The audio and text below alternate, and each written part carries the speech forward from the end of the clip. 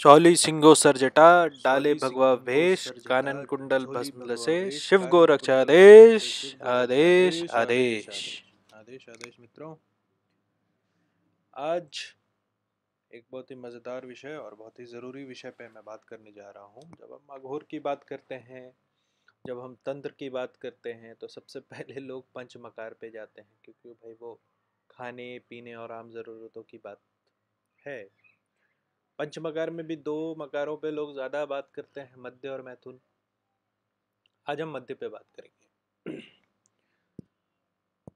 आप देखोगे कि जितने भी अघोरी होते हैं, वो मद्यपान बहुत करते हैं। लेकिन जितना वो मद्यपान करते हैं, कभी आपने शायद ही सुना होगा कि कोई अघोरी मद्यपान के चलते मर, मारा गया। शराब तांत्रिकों और अघोरियों को क्षति नहीं पहुंचाती। क्योंकि जब एक तांत्रिक या अघोरी बहुत ज़्यादा मद्यपान करता है तो वो अपने ईस्ट को और अपने साथ जो शक्तियाँ हैं, उनको वो मध्य देता है, अपने शरीर के माध्यम से। आपने देखा होगा कि एक चीज़ होती है, उसे खप्पर कहते हैं। तंत्र वाले लोग खप्पर के बारे में जानते ही हैं। खप्पर एक जहरीली ना एक जहरीला नारियल होता है, जो समुद्री नारियल होता है, उसके दो टुकड़े किए जाते हैं, जो कि एक पात्र के रूप में आता है और इस पात्र को खप्पर कहते हैं। तो साधु सन्यासी या फिर देवी देवता खप्पर का प्रयोग करते हैं। माना यह गया था कि खप्पर का सबसे पहला प्रयोग महादेव जी ने किया था। जब समुद्र मंथन हुआ था तो जो हलाहल निकला था, देवताओं ने अमृत ले लिया और हलाहल महादेव के पास छोड़ गए। उस हलाहल को महादेव जी ने जहरीली खप्पर में पिया था। माँ काली का, की भी आपने अगर तस्वीर देखी होगी तो माँ काली भी हाथ में खप्पर रखती हैं और खप्पर में ही वो भोग लेती हैं। कोई भी क्रिया खप्पर से ही होती है।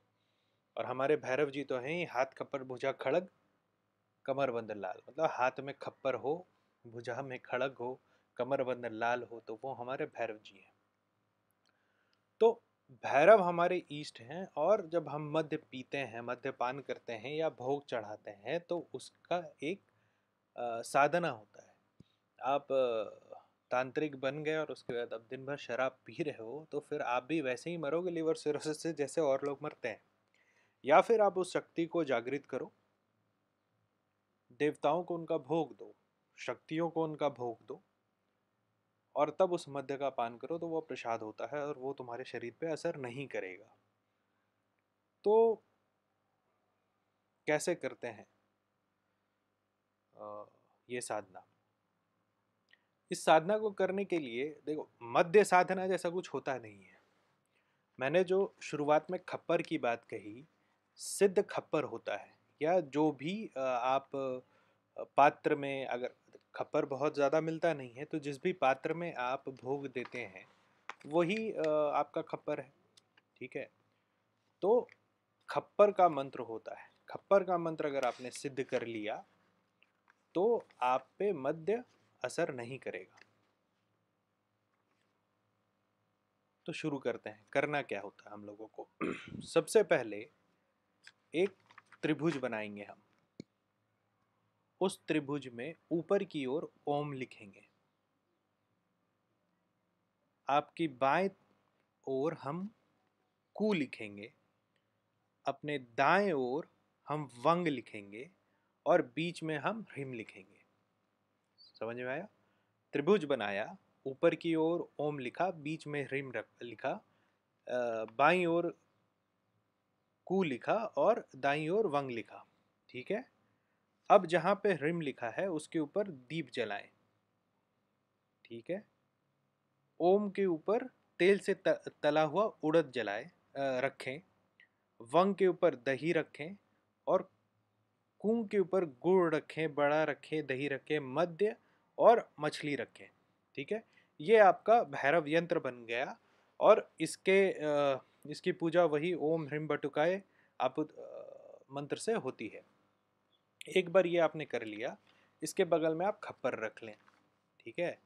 अब जब आपने खप्पर रख लिया तो एक माला ले। भैरव का कोई भी साधना अगर काले हकीक की माला से हो तो बहुत उत्तम होता है। अगर काला हकीक ना हो, देखिए, आज के डेट में मार्केट में बहुत ही उम्दा किस्म के प्लास्टिक का माला उपलब्ध है, जो काला होता है और देखने में वो बिल्कुल ही खप्पर की तरह होता है।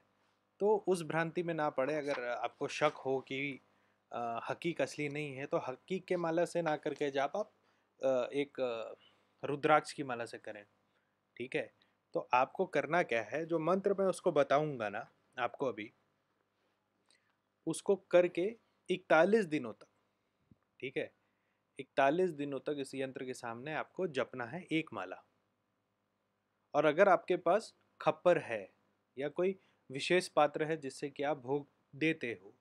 तो उस खप्पर को धुने के पास रख कर फोर्टी वन डेज़ तक आप उस पर इतर कस्तूरी इतर लगाना और धुना में हवन देते रहना। अब आते हैं मंत्र पे।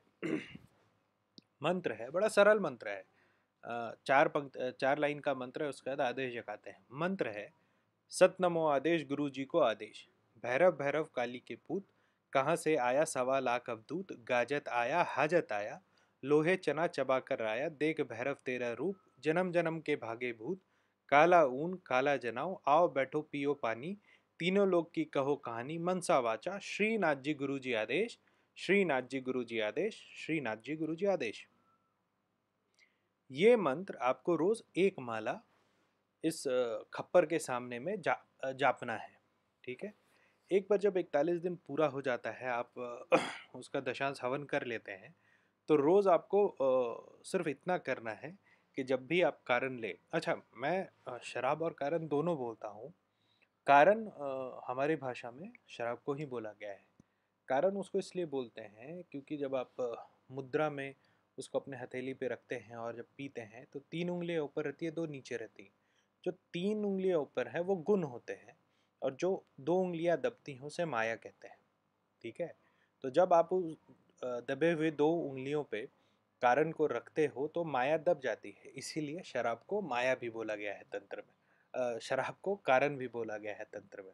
तो माया को दाब के तीनों जो गुण हैं, उसको उठाता है कारण। वो नहीं कि हम पी करके रोड पे पड़े हुए हैं, वो है कारण। कारण वो है जो भगवान को चढ़ा और उसका प्रसाद हम लोगों ने ग्रहण किया ठीक है? और वो माया को दाब के हमारे तीनों गुण गुणों को उठाए। तीनों गुण जब आपके उठते हैं आप सिर्फ़ सात्विक गुण से आ, साधना नहीं कर सकते। तीनों गुण होने चाहिए। तब साधना सफल होता है। अच्छा इतना करने के बाद रोज़ आपको क्या करना है? जब भी आप कारण या शराब का पात्र हाथ में लो तो अपनी कानी उंगली को लेना उसमें डुबाना और तीन बार ओम श्रृंग फट स्वाहा करके ज़मीन पर छीटा मारना। अगर आप पूरा मंत्र नहीं भी करोगे और सिर्फ़ ओम, श्रीम, फट, स्वाहा से तीन बार दे दोगे तो वो आपका भोग एक्सेप्टेड होगा। मैं अपने अगले वीडियो में अघोर और तंत्र के हिसाब से कुछ रक्षा विधि बताऊँगा, कुछ रक्षा मंत्र बताऊँगा और कुछ बहुत ही सहज उपाय बताऊँगा रक्षा के, जिससे कि आप किसी भी तांत्रिक प्रहार से बचे रहें। साथ ही मेरा आप लोगों से अनुरोध है कि आप लोग मेरे चैनल को सब्सक्राइब करें और फैलाएँ। बहुत ही सीधी, सरल भाषा में मैं कोशिश करता हूँ कि आप लोगों तक अघोर की जानकारी रखूँ। आप लोगों को अगर मुझसे बात करना है तो एक आप, एक ऐप आता है एंड्रॉयड और एप्पल दोनों पे। आस्क मी फॉर ऐप आप उसको